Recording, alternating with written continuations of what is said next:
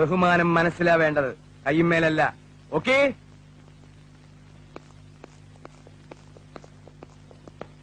Salute അല്ല ഇവിടെ പ്രശ്നം. വാക്സിൻസ് ഒക്കെ കിട്ടിയില്ലേ. എവിടെ?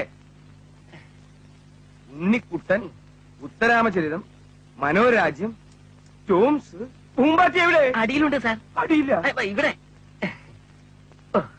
ആ മിടുക്കൻ. കൈ കൊടുക്ക്. സമയായിട്ടില്ല. പിന്നെ തരാം.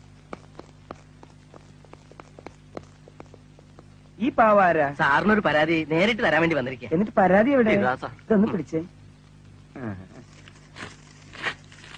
പോലീസ് സ്റ്റേഷനിലേക്ക് ഉണ്ടാ മുതുക്ക പരാതി കൊണ്ടുവരണേ ഏ? അല്പം നിങ്ങളോട് ഞാൻ പറഞ്ഞിട്ടില്ലേ? സാറിന് പരാതി ഇഷ്ടമല്ലെന്ന്. വരൂ വരൂ വരൂ കമാൺ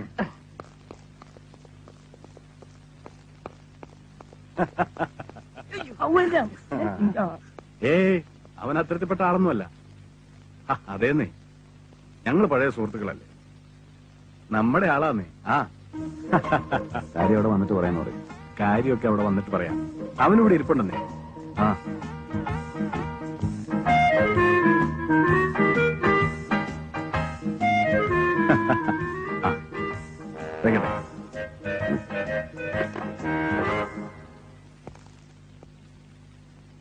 തവള കളിക്കണേ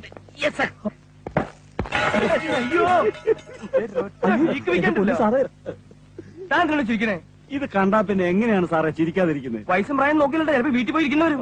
ഡിപ്പാർട്ട്മെന്റിൽ സ്വസ്ഥത കിട്ടില്ല എന്ന് വെച്ചാൽ ഇതെന്തത് എന്തത്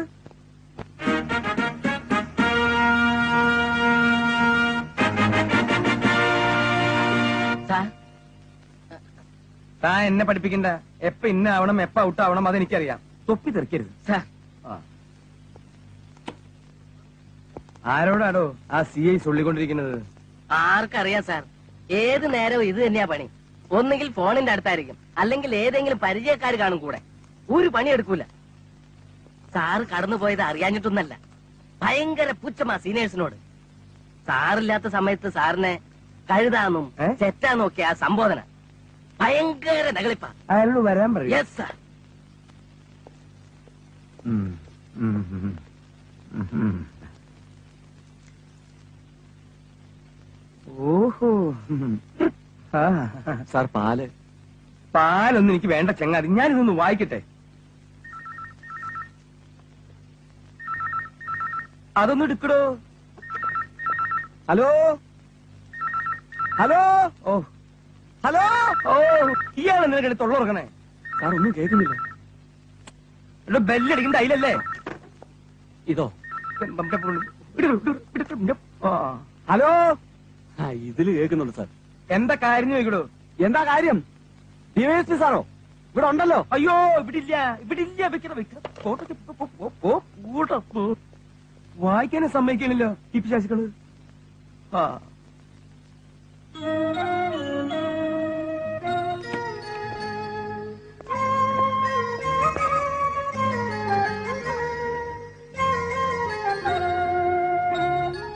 പിശാചെന്ന് കേട്ട് പേടിക്കൊന്നും വേണ്ട.